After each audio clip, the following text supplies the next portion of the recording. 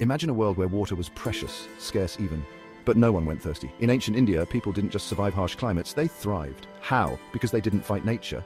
They worked with it. Their solutions were so ahead of their time that even today we can't fully replicate them. Picture this a bustling village in Gujarat, centuries ago.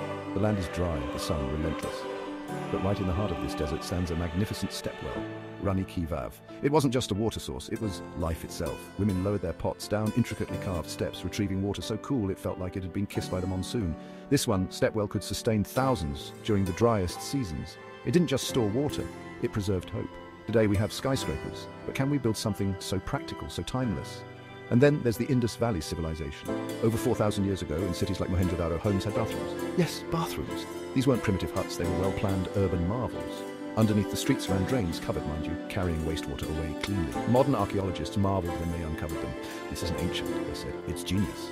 Compare that to today, where even in major cities, drainage systems buckle under heavy rain. Let's not forget the countryside. In Rajasthan, farmers face some of the harshest droughts imaginable. Yet they harvested water like artists. They built johads, small earthen dams that caught every drop of rainwater and turned barren lands into fertile fields.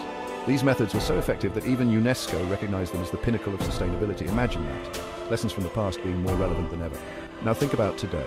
Every year, millions face water shortages, lakes dry up, cities ration water, and yet the solutions are right there, etched in ancient stones and scriptures, whispering to us. We figured this out centuries ago.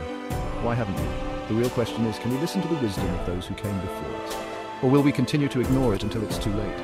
If stories like this resonate with you, if they make you want to know more about the secrets of our world, subscribe to Universal Insights, share this with someone who needs to hear it, and let's explore the brilliance of our ancestors together.